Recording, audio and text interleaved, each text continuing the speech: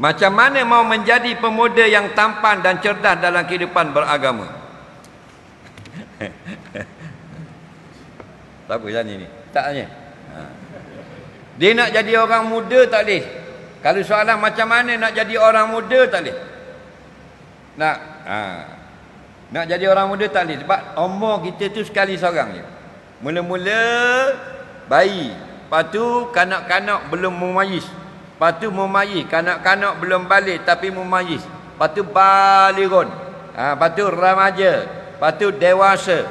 Nah, ha, lepas tu lepas tu dipanggil tua. Tua tu ada tua lagi, tua bangka. Lepas tu tua, tua bangka, tua beri. Tua dah sudah gigi. Eh, ha, banyak. Nah, ha, tapi kalau ni dia tak panggil tua bangka, dia panggil warga. Warga emas. Berapa umur? 60 60 ha, 60 65 tuasa. Tuasa ke apa? Warga tuasa. Ha. yang 95 tu warga apa? Nah. Platinum. Nah. Ha. baik. Dia kata nak jadi orang orang muda. Ha. pemuda yang tampan dan cerdas dalam kehidupan beragama. Baik. Dia begini saja apa-apa pun dia mesti dengan pengetahuan. Nampak? Mesti pengetahuan. Dia kena ada pengetahuan. Nah, ha.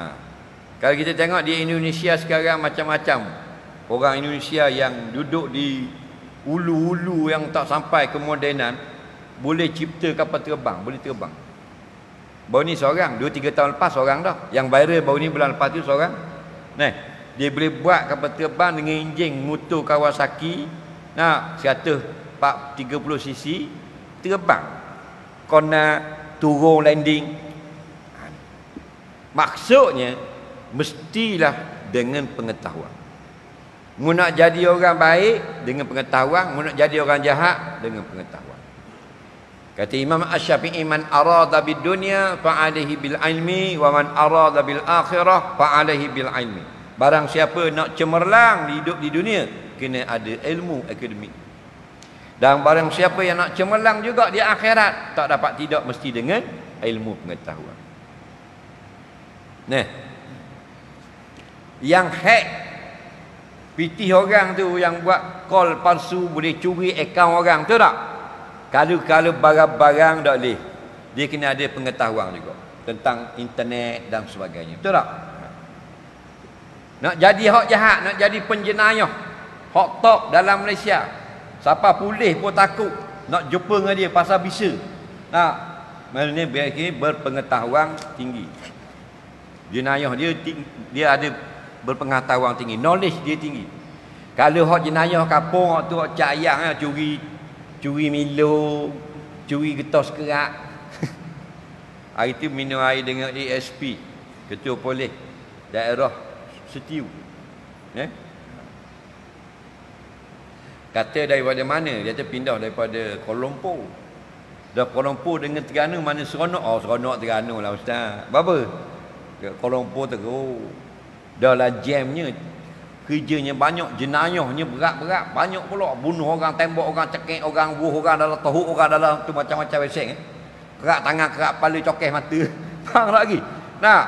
Ha, dia kata dah, dah kalau setiu. Setiu jenayah kau Ustaz. Tapi sikit-sikit je. Dia banyak, banyak je benda. Gitu lah curi getah. getah dalam pasu tu kan. Orang kata orang dia di getah beku, curi getah tu bola supit bomba. Faham lagi? Ha, nampak tak? Ha, curi getah, curi papang gitu lah. Nah, ha, maknanya pasal apa? Pasal knowledge dia rendah. Nak jadi geng style, geng M16 yang boleh pecah pintu bank, yang boleh ambil akaun orang. Tu kata. Dengan nak tengok nyanyi hok lagu. Kalau penyanyi-penyanyi yang kelas Kuala Lumpur tu, nah, siapa nyanyi di istana dia apa tu? Lima, empat lagu, lima lagu tahu tak apa? Lima puluh ribu. Lima puluh ribu. Empat lagu, lima puluh ribu. Sama mahal dengan kau paung. Pojok colek. Dah. Ha tu hak kelas. Kalau hak nyanyi hak Terengganu. Hak nyanyi Terengganu. Ha. Hak pelda-pelda dia buat pesta nyanyi berapa selagu? Susu tiga pok Cak Junjung Faham lagi Ha, nak raya dunia dengan ilmu, akhirat dengan ilmu. Ha. ha. Jadi awak nak jadi seorang pemuda alhamdulillah yang beriman yang istiqamah. Nampak? Ha. Istiqamah ha? ala taatillah kita istiqamah atas jalan yang benar. Nampak tak? Kita berpegang dengan Allah. Jangan pegang dengan makhluk. Ramai dah sahabat-sahabat kita dulu berpegang dengan Allah, sekarang pegang dengan makhluk. Kerana Allah uji dengan harta benda. Betul tak? Dulu kuat pegangan kita dengan Allah. Kerana kita susah. Sekarang kita senang. Ada yang sudah tak berpegang dengan Allah. Tuhan uji kan? Betul tak? Senang pun ujian, susah pun ujian. Jadi ingat, muda ke tua ke istiqamah ada taatillah. Ya, tetap atas jalan yang benar. Takdir kata kita seorang je tinggal yang bercakap benar. Habis orang lain berpusing 360 belaka. Kita biar seorang diri basak terai pun tak apa. Atas jalan yang benar. Tak.